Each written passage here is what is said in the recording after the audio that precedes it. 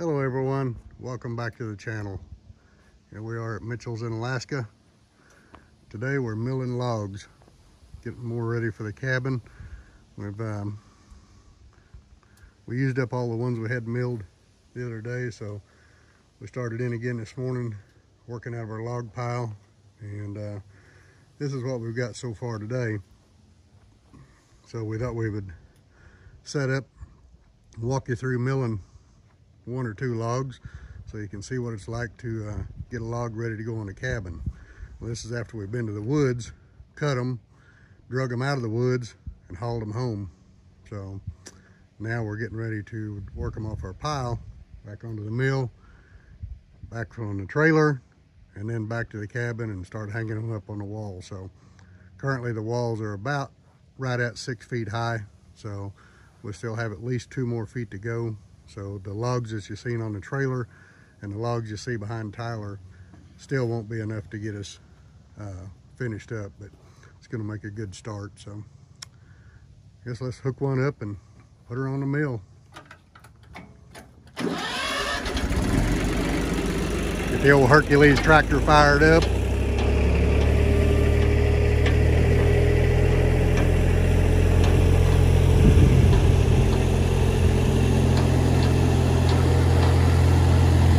If Tyler hits the mark whenever he hooks the tongs on and see if it balances well.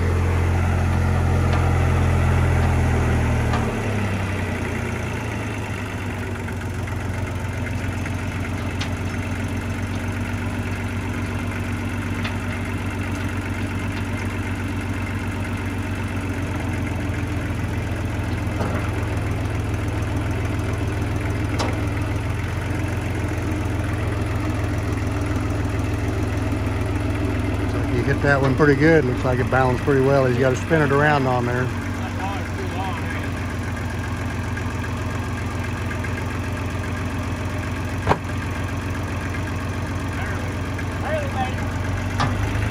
Get it turned around there, we got to put the small end on the head of the mill.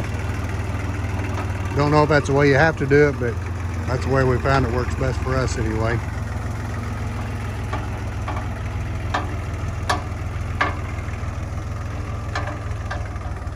If you wonder why the mill's sitting here where it's at, it's because whenever we set it up here, we had five feet of snow on the ground, and this happened to be a spot we could clear out.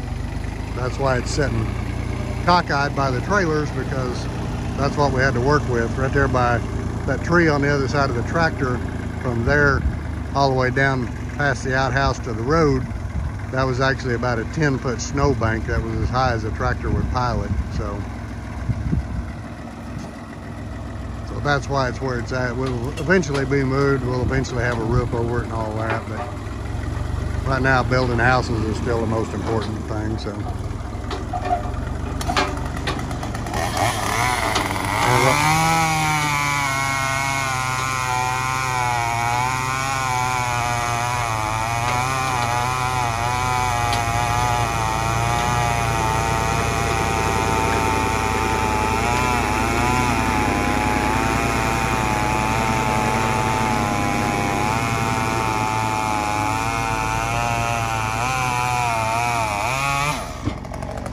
Now what Tyler was doing there was cutting the end of the stump off where the where we had felled the tree and it has a big angle on the end of it. So we'll go ahead and get rid of that. And if you're wondering if we have bigger chainsaws than that, yes, we do. That's just a handy size to have working around the mill here. The big ones, you just don't need one out here that big. Um, we do use bigger ones when we're cutting trees down and all that, but these little bitty ones are sure nice to uh, have to work around the mill and whenever we're down there on the cabin working. And uh, so what Tyler's doing there is he's uh, laying that log out on there. Normally I'll be up there helping him, but now I'm just kind of slacking. But uh, what he's doing there is rolling it around to see if it's actually setting on all the bunks sure that you see down through there. Has log on it. So basically if the log is has a bend in it, we want to roll it around and try to get as flat a side as we can to uh, start our cut with. So that's what he's doing there. Then you seen him working over the backside there. He's tightening up the, uh, the hold downs to uh, hold it in place while we're milling. And, uh, what he's doing down here on the end right now is he's uh, he's laying some marks on there so he knows how much he needs to take off of it actually make a D-log out of it. So again, that'll give us a you know one inch one by there, not quite one there, but then that'll give us our D-log roughly, you know, in that shape. So we'll, we'll wind up with a D-log out of this one and, and uh, maybe a, a one by six as well. So you can see the boards that we've gathered here this morning, um, which those there we'll put back in the mill and, and uh, cut the bark off those and square those up. So, and of course you can see the leftovers here, um, slabs that are on a trailer there. We're gonna give them to the neighbor. And then over there you see a pile of uh, ugly boards, which actually make good boards for wood sheds and stuff like that. So, um, so that's what those are for. So there's always a lot of leftovers. All right, I'm gonna put you on the stand here for a minute so I can get up here and do my part. My part's pushing this thing up and down the rails. That's what I like. Get you set down here, or hopefully you'll be able to see what we're doing. It'll be a little bit noisy while we're doing that, but all right, here we go.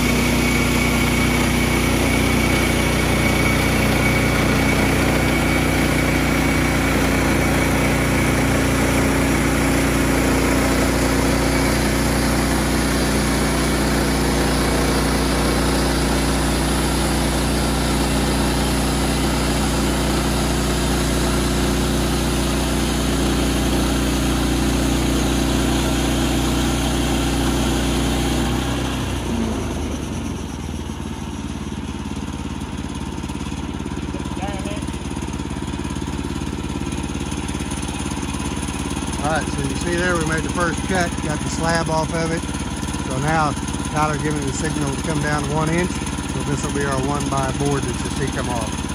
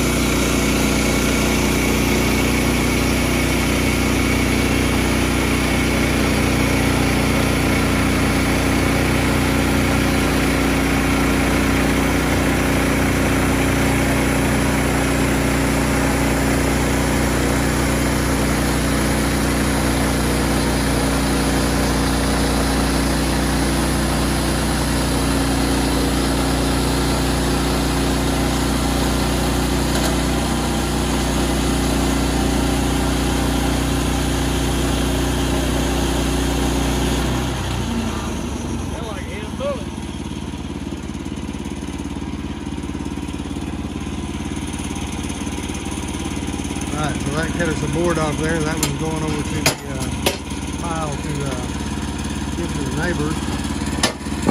And also works good for uh, sheds and things like that. Tyler's rolling the log over now on the flat side. And we'll come back and we'll we'll cut this side here just like we did the other side. verifying his marks there, make sure his measurements are good.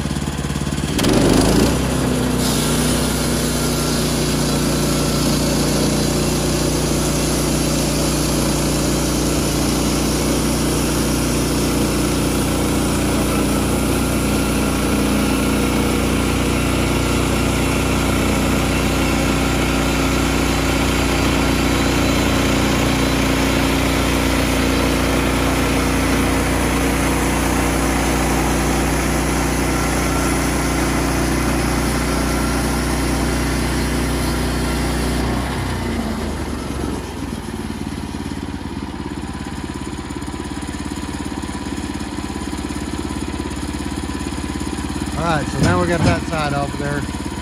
Now, you have to decide which side you want to show on the cabin, which the, the side that has the bark on it, which will later be peeled anyway. But uh, So you want to put the straightest edge you can to make the outside of the log, and then the other side, we'll uh, come back and we'll cut that side off and it'll be flat. And we'll probably be able to mill another board off of here. It'll be a one by six if we have room to get one off there, and it looks like we probably have room to get at least one off there maybe. So I'll jump back up there and we'll recut that.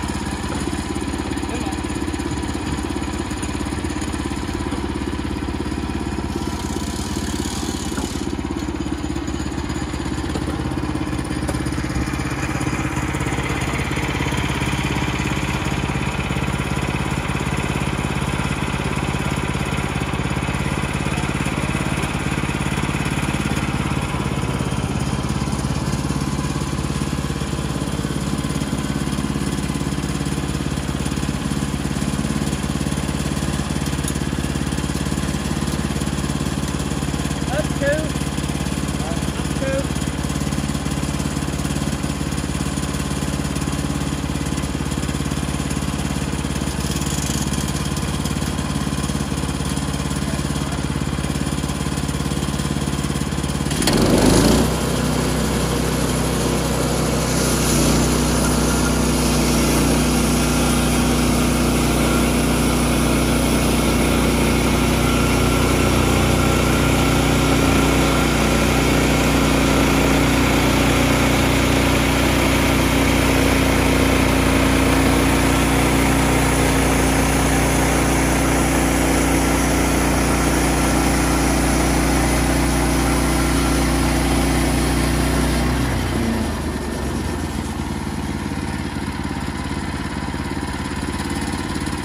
All right, so you can see we cut most of the bark off of that side.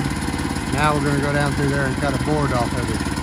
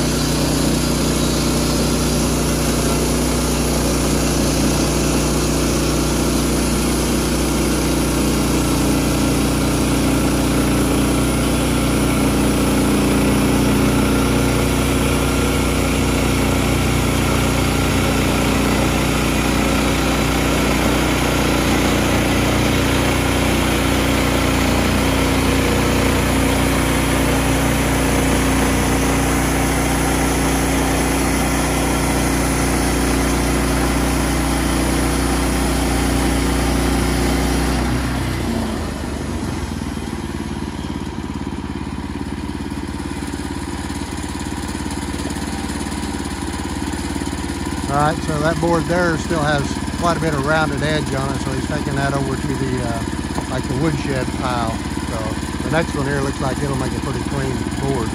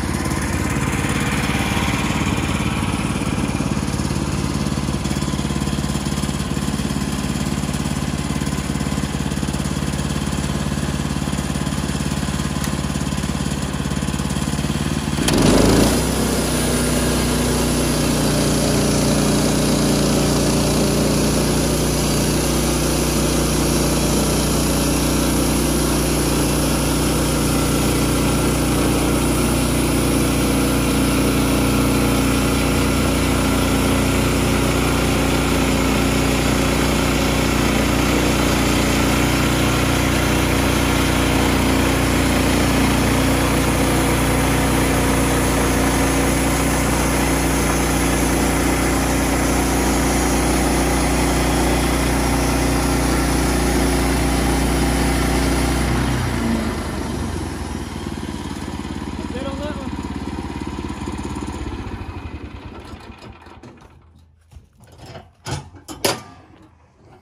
All right, so that finished that one up now. I saved a, um, about a 12 foot one by six off of that. It'd probably cost you 15 bucks if you went to the lumber store to buy it. And what we're left here is a, a D log that is 11.5. 11.5 long. These here typically sell out here um, for 180 to 200 bucks for a 12 foot, six inch D log. So milling it yourself saves a lot of money.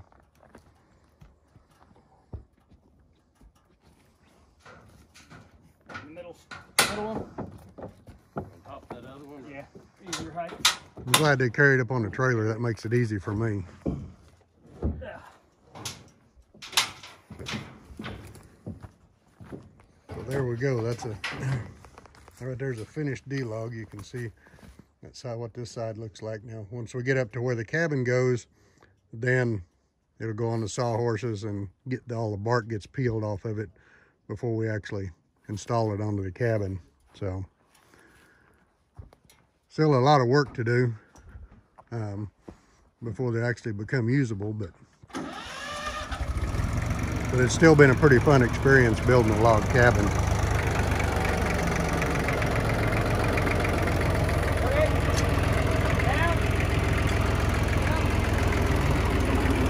This here, this is a little bit more of a beast right here. This one's quite a bit longer than the other one was.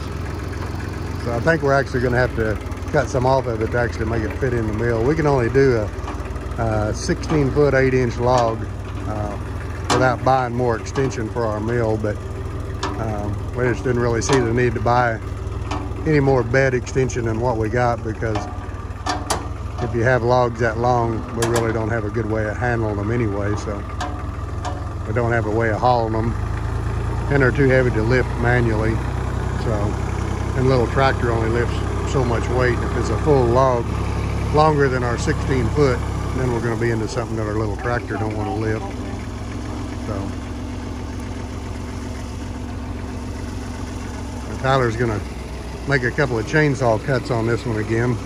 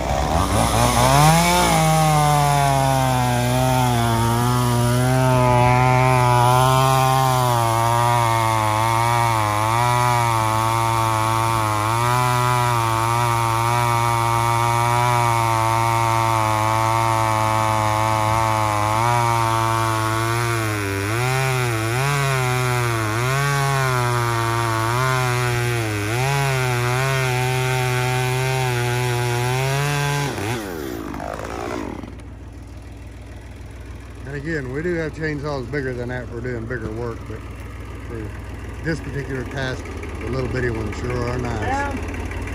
Just get over something. Now after a couple of cuts on it, you got to rehook it to uh, Okay. level it back up again.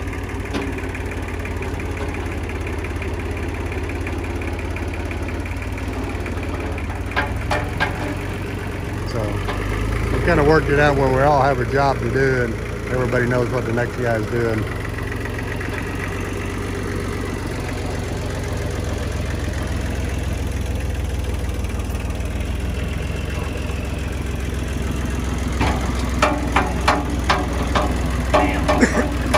Easy.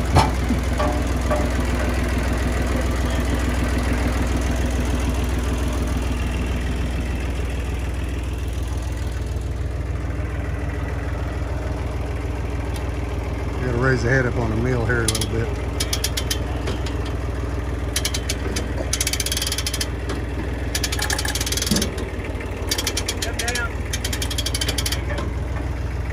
Yeah.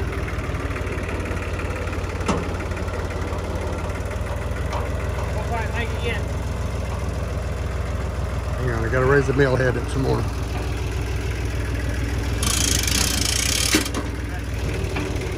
should have done that whenever I uh, finished up on the last log and I forgot to do it.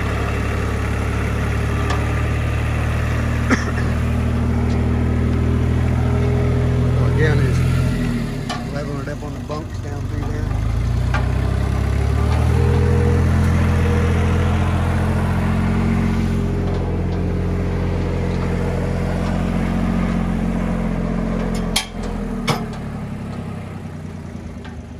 We'll- I'll set the tripod up. We'll get a shot from a little bit different angle this time. We'll go through and mill this one up.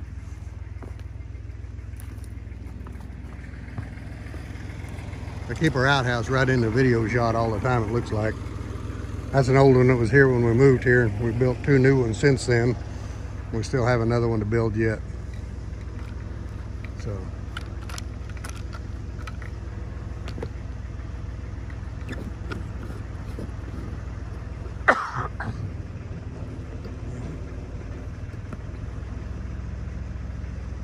here we go. We'll watch it from this angle this time. Ready?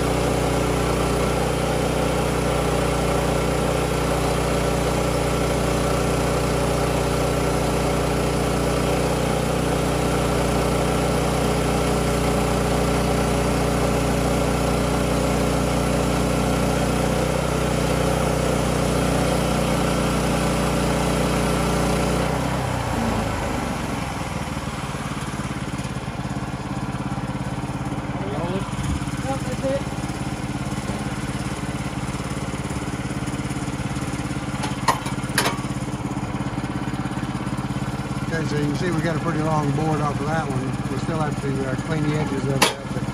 After the logs are done, then we go back and put the one bys on there, and uh, they actually stack in there on their side, and then we uh, clean up the sides of those and actually make clean boards out of them. Getting ready to roll this one over now to the other side. Flatten the other side of it, then we'll stand it up and make the uh, final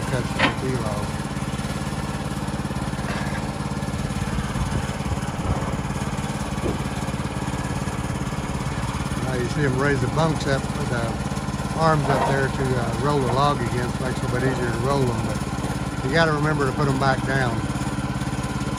Which, um, everybody's done a time or two, and that's uh, run into one of them with your saw, and it sure, uh, sure wreaks havoc on the saw blades.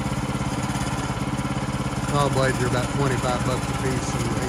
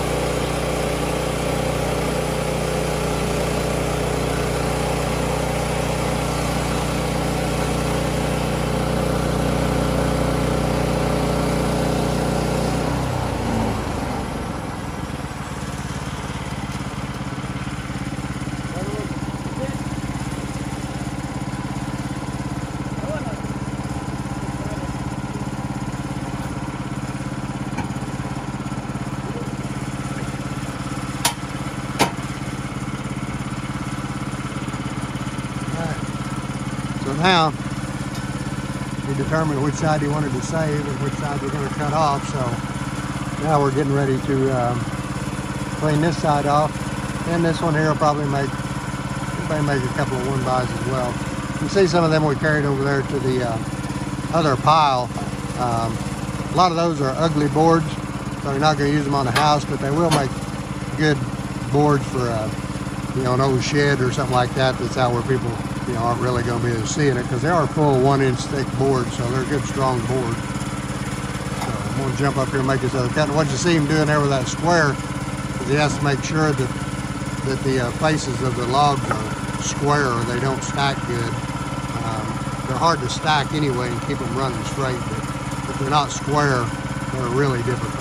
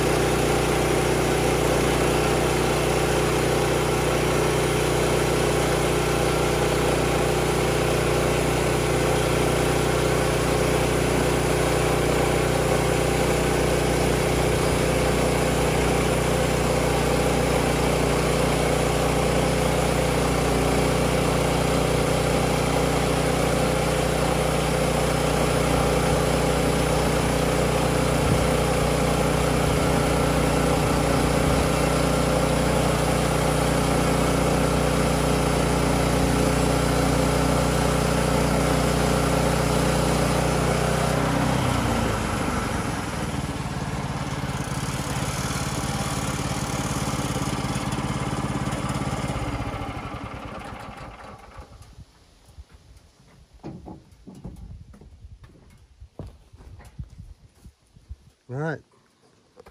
So there was a second D log completed. So you can again, we're looking at it from the end here. You can you can see why they call them a D log because it's shaped like a D. The rounded part, of course, will go on the outside. One flat part will go to the inside wall.